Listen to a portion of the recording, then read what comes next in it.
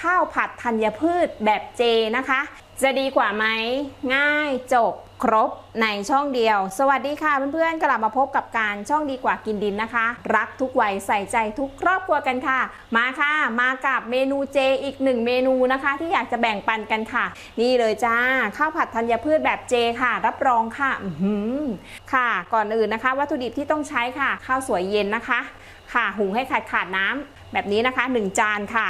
แล้วก็ธัญพืชที่การใช้นะคะ เม็ดเดือยต้มนะคะ แล้วก็ถั่วแระญี่ปุ่นค่ะ แล้วก็มีถั่วแดงนะคะ การก็จะใส่เต้าหู้ด้วยค่ะอ่าเพิ่มสีสันด้วยแครอทค่ะ แล้วก็จะมีเห็ดหอมแห้งแช่น้ำค่ะ เท่านี้ค่ะ บอกเลยค่ะ เมนูเจก็มีข้าวผัดอร่อยๆไว้กินได้นะคะค่ะ ไปค่ะลงมือทำกันเลยจ้า นี่เลยจ้าตั้งกระทะค่ะ ใส่น้ำมันนะคะ ค่ะการก็จะเอาเต้าหู้ค่ะ ลงไปทอดก่อนนะคะ มากน้อยตามชอบนะคะ ในส่วนของเต้าหู้ค่ะ ค่ะการจะทอดเต้าหู้แค่ว่าพอตึงๆนะคะ จะไม่ให้มันแข็งเกิน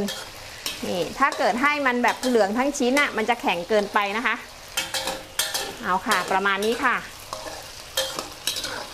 เอาแค่พอตึงๆพอค่ะ ประมาณนี้ค่ะ เดี๋ยวกันจะตั้งพักในส่วนของเต้าหู้ไว้นะคะ แล้วก็เทน้ำมันออกก่อนค่ะ การจะเหลือน้ำมันไว้เล็กน้อยนะคะ ลงมือผัดข้าวกันเลยค่ะ เช่นเคยค่ะ การจะใช้เห็ดหอมนะคะ ลงไปผัดก่อน ผัดเห็ดหอมให้หอมก่อนนะคะ ใครจะหั่นเป็นเต๋าๆก็ได้นะ ในส่วนของเห็ดหอมเนี่ยค่ะ ค่ะ การก็จะใส่แครอทนะคะ ลงไปค่ะ ตามด้วยข้าวเลยค่ะ ผัดกันแบบง่ายๆนะคะ ผัดเลยค่ะ ข้าวต้องเป็นข้าวเย็นนะคะ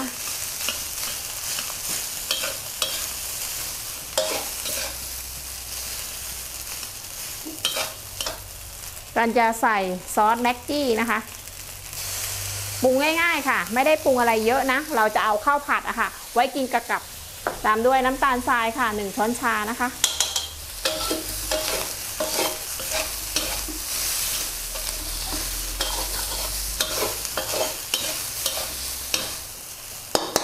ค่ะ ประมาณนี้นะคะ ให้ข้าวผัดให้ข้าวแห้งๆเลยค่ะ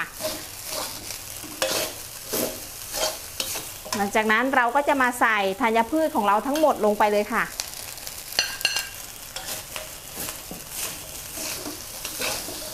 ผัดผสมให้ทุกอย่างเข้ากันเลยนะคะ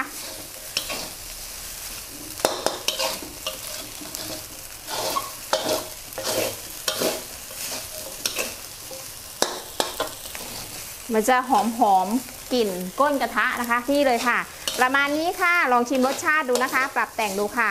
นี่แค่นี้เองค่ะง่าย ๆนะคะ ค่ะเสร็จสรรพเรียบร้อยแล้วค่ะ ข้าวผัดนะคะ พร้อมไว้กินกับกับข้าวเจชนิดต่างๆ ได้แล้วค่ะ ค่ะไปค่ะจัดจานเสิร์ฟพร้อมกันค่ะ ค่ะ ในส่วนของเต้าหู้นะคะจะใส่เป็นท็อปปิ้งก็ได้ หรือจะใส่ผัดรวมไปกับข้าวเลยก็ได้ การอะลืม ไม่เป็นไรค่ะ เดี๋ยวเราจะมาใส่เป็นท็อปปิ้งไปนะคะ นี่เลยข้าวผัดเรานะคะนี่ไง สวยงามหันมาดูเฮ้ยลืมเต้าหู้อ่าไม่ได้ลืมจ้า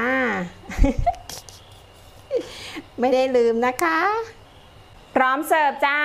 นี่นะคะ เสร็จสรรพเรียบร้อยแล้วค่ะ ข้าวผัดเจนะคะ แบบหอมๆค่ะ หอมก้นกระทะนะคะ จะมีความแบบว่าไม่ไหม้ก้นกระทะนิดหน่อยนะคะ แล้วก็ความเลี่ยนนะคะมันจะไม่มีเลยการผัดให้แบบแห้งๆเลยนะคะ ค่ะ สามารถทานคู่กับกับข้าวเจนะคะ ต่างๆ ได้เลยค่ะ นี่ลองทำกันดูนะคะ เขามีข้าวอบเผือก การมีข้าวผัดธัญพืชจ้า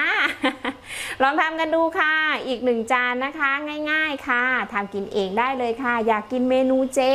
จัดเลยจ้านี่เลยค่ะ เอามาแบ่งปันกันนะคะ ง่ายๆนะคะ ฝากเพื่อนๆกันไว้ด้วยค่ะ หากชอบคลิปนี้ฝากกดไลค์กดแชร์ กด Subscribe เป็นกำลังใจให้การทำคลิปต่อๆไปด้วยนะคะ คลิปนี้สวัสดีค่ะ